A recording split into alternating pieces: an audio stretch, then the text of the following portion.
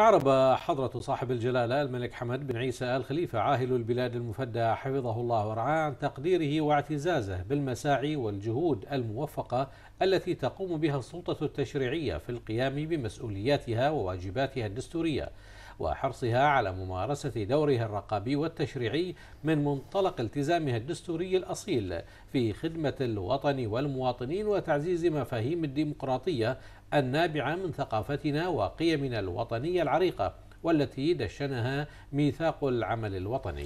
جاء ذلك خلال استقبال جلالة الملك المفدى في قصر الصخير يوم أمس معالي السيد أحمد بن إبراهيم الملا رئيس مجلس النواب ومعالي السيد علي بن صالح الصالح رئيس مجلس الشورى ونائبي الرئيسين وأعضاء لجنة الرد على الخطاب الملكي في مجلسي الشورى والنواب.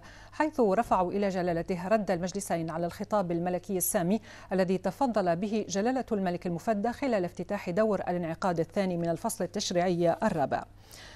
كما أعربوا عن خالص التهنئة والتبريك وأطيب التمنيات للعاهل المفدى بمناسبة الذكرى السنوية الخامسة عشرة لميثاق العمل لميثاق العمل الوطني. دعينا الله سبحانه وتعالى أن يعيدها على جلالته بوفر الصحة والسعادة وعلى الوطن الغالي بالعزة والرقي والتطور.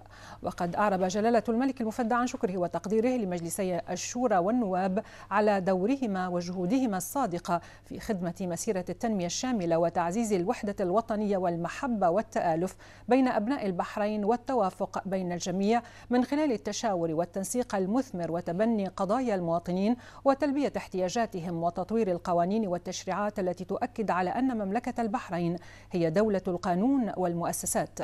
وقال جلالة حفظه الله إن البحرين أثبتت أنها متحدة بفضل تكاتفنا ويحق لنا أن نفخر بتجربتنا البحرينية الخالصة وأن نفخر بالكفاءات البحرينية التي تجعلنا على ثقة واطمئنان بمستقبل البحرين وتقدمها.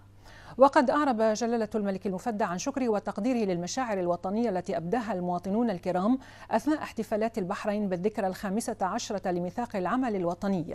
وأكد العاهل المفدى أن مملكة البحرين ماضية بعون من الله لتحقيق المزيد من التنمية وتعميق أسس المواطنة القائمة على العدالة والمساواة وتكافؤ الفرص.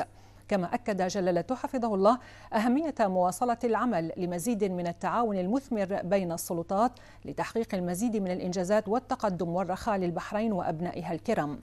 وأشاد جلالة الملك المفدى بما تضمنه رد مجلسي النواب والشورى من مقترحات وأفكار بناءة لتطوير الأداء وتعزيز العملية الديمقراطية لمواصلة مسيرة الوطن المباركة. وقد أكد جلالته أن مملكة البحرين ستبقى بمشيئة الله دائما بلد الخير والتعاون والتآخي بين الجميع متمسكة بدورها الإنساني منفتحة بإرثها الحضاري على العالم. كما تطرق اللقاء إلى القضايا التي تخص الشأن المحلي وتخدم الوطن والمواطن وسبل الارتقاء بالعمل المؤسسي وتطويره وصولا إلى الأهداف والتطلعات المنشودة في مسيرتنا الوطنية.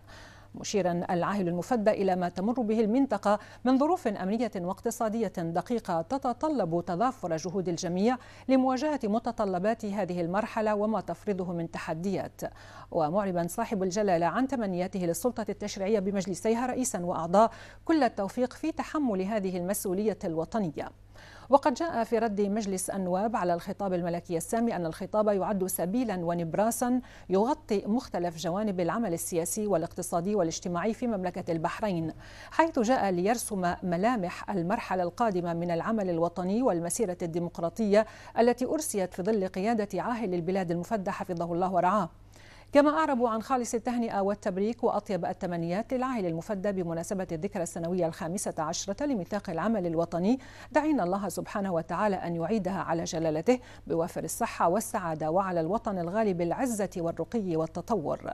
وقد أكد العاهل المفدى أن مملكة البحرين ماضية بعون من الله لتحقيق المزيد من التنمية وتعميق أسس المواطنة القائمة على العدالة والمساواة وتكافؤ الفرص. من جانبه عبر مجلس الشورى عن اعتزازه بما تضمنه خطاب جلالة الملك المفدى من تقدير لجهود السلطة التشريعية في مزاولة دورها الرقابي والتشريعي وسط مناخ ديمقراطي فاعل. لافتا إلى أن ميثاق العمل الوطني يعد أحد ثمار المشروع الإصلاحي لجلالة الملك المفدى وأنموذجا يحتذى به في تطبيق الديمقراطية وفق أصولها العريقة. وعبر مجلس الشورى عن إيمانه الراسخ وثقته بأن تعامل جلالة الملك المفدى لمواجهة ما يحاك للبحرين من مؤامرات وأعمال إرهابية وشغب وتخريب له التعامل الحصيف الذي صد تلك المؤامرات وحقق لمملكة البحرين الأمن والاستقرار بفضل قيادته الحكيمة وبفضل وعي شعب البحرين الوفي ورفضه لتلك الأعمال البعيدة عن قيمه وموروثه الحضاري